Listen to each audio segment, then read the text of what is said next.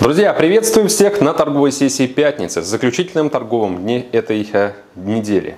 Мы снова обсуждаем ключевые фундаментальные события, говорим только про самые важные фундаментальные триггеры, которые оказывают самое заметное влияние на динамику финансовых активов.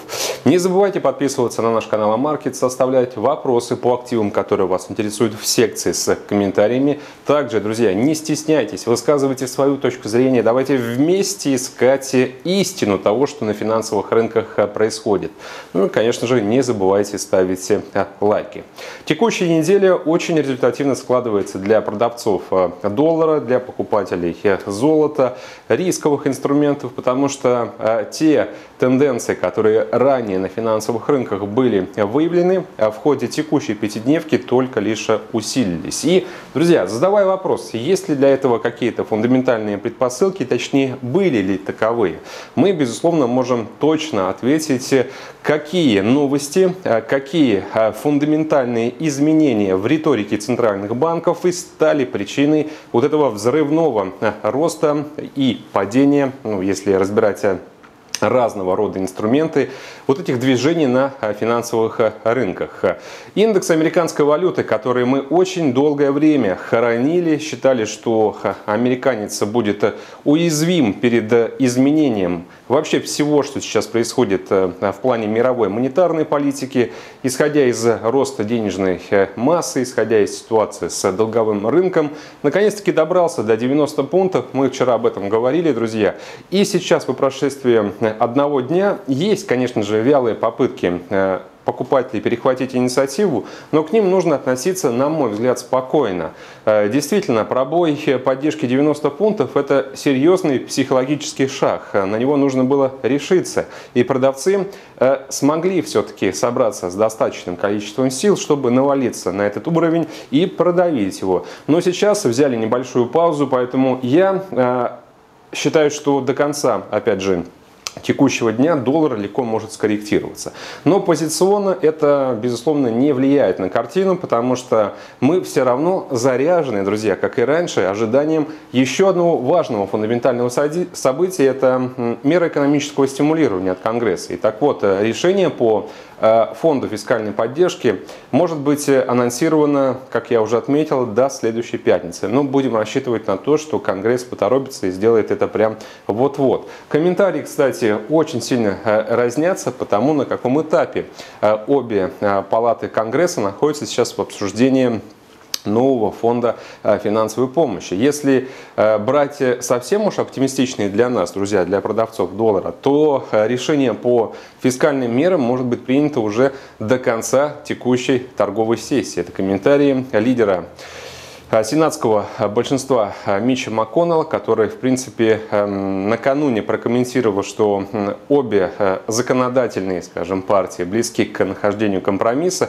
и все прекрасно осознают то, что эти деньги сейчас необходимы. Фонд, друзья, потенциально на 900 миллиардов долларов, хотя я допускаю, что его могут немного сократить, убрав, как ранее комментировал, те пункты, эм, которые являются спорными. Но даже если фонд будет 700-750 50 миллиардов. Это достаточно. В любом случае этот фонд будет включать выплата единоразовых э, пособий на 600 долларов и последующее повышение еженедельных пособий по безработице на 300 долларов. Соответственно, друзья, э, мы, безусловно, э, исходя из этого, можем сделать акцент на то, что фондовый рынок США, если он вас интересует, э, при такой риторике и при таких изменениях может сохранить вектор дальнейшего восстановления. Хотя он и так по всем трем индексам NASDAQ, Dow Jones и S&P находится на исторических максимумах. Я признаться, друзья, не нахожусь сейчас ни в одной из сделок по фонде. Я жду коррекции. Ранее, много недель назад, комментировал вам то, что для меня является оптимальным заход по тому же самому S&P эм, ниже отметки 3500 э, пунктов. Я не буду противоречить тому, что говорил. В принципе, э, эту выжидательную позицию сохраняю, потому что насколько бы мы не были уверены в э, росте, рынок периодически дает коррекцию. Зачастую даже абсолютно абсолютно неоправданную и трудно эм, объяснимую эм, с точки зрения фундамента. Ну, может быть, только лишь какими-то техническими предпосылками, факторами перекупленности или перепроданности. Но в любом случае, друзья, по доллару мы должны все-таки топить за более Э, за большее ослабление уже э, в рамках 2021 года. Спасибо ФРСу, продлению э, программы количественного смягчения объемом 120 миллиардов долларов. Спасибо комментариям о том, что ставки останутся низкими в течение долгих лет, пока ФРС не достигнет целевых показателей по экономическому росту и по инфляции. Не скоро по инфляции, конечно же, будут достигнуты целевые значения. Мы параллельно еще анализируем макроэкономические данные. На этой неделе розничные продажи, которые очень сильно разочаровали, и вчерашний отчет по заявкам на пособие по безработице. Друзья, когда неделю назад вышел релиз э, Э, сообщивший о том, что за неделю число обращений за пособиями составило 865 тысяч. Я помню, что многие эксперты отмечали, что это аномальный показатель, случайная, как бы разовая цифра, и дальше будет картина получше. Ну вот, неделя прошла, и 885 тысяч, еще хуже.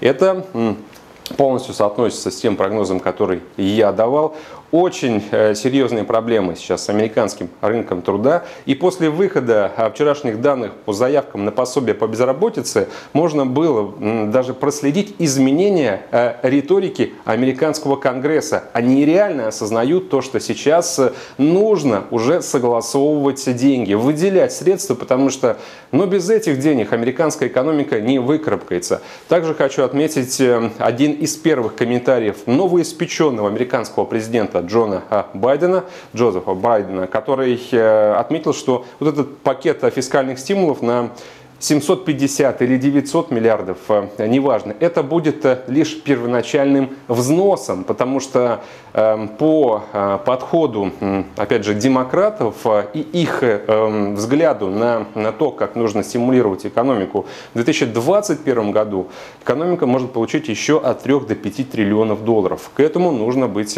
готовыми, друзья.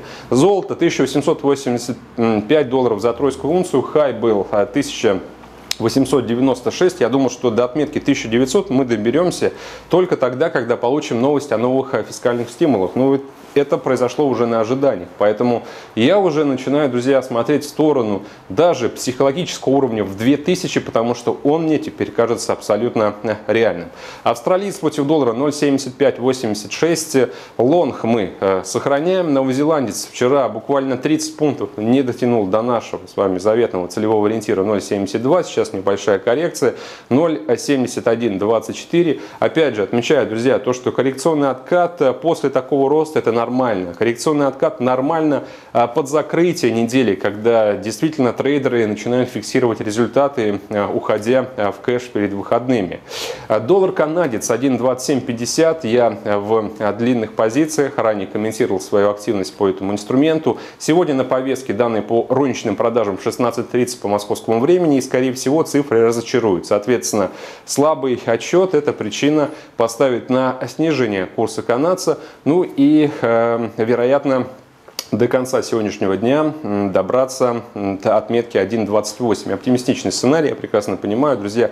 Но хочется поймать э, хороший отскок по э, этому дуэту финансовых активов. Особенно если через какое-то время на нашей стороне, на стороне продавцов э, канадского доллара окажется еще и снижение цен на нефть, тогда пара доллар-канадец и покупка этих инструментов может стать очень перспективной инвест-идеей. Евро против доллара 1.2272 это хайп вчерашнего вчерашнего дня, а сейчас 1.2241. Друзья, здесь держим лонги. А фунт 1.3523, больше 100 пунктов с локального максимума уже пара потеряла. А вопрос на засыпку, как вы думаете, с чем связана эта коррекция? Не только лишь с техническими факторами. На рынке снова плохие новости относительно Брекзита. Вчера состоялся очередной телефонный разговор между главой, премьер-министром Англии и главой Еврокомиссии. Э, ни о чем не договорились. И последний, друзья, комментарий Джонсона, который, в принципе, он транслирует, цитирует постоянно о том, что при текущей позиции Европейского Союза никакой сделки не будет. И на этом, собственно, фунт снижается. Я сторонник жесткого Брекзита, поэтому, друзья, прошу меня не критиковать, но мне кажется, что э, шансы увидеть последующие распродажи фунта, э, фунта гораздо выше, чем, опять же, потенциальный рост по факту на мой взгляд, невероятной сделки по дальнейшему торговому сотрудничеству между двумя регионами. На этом, собственно, все. Хорошего вам закрытия недели, замечательных выходных и до скорых встреч уже на следующей. Всем пока!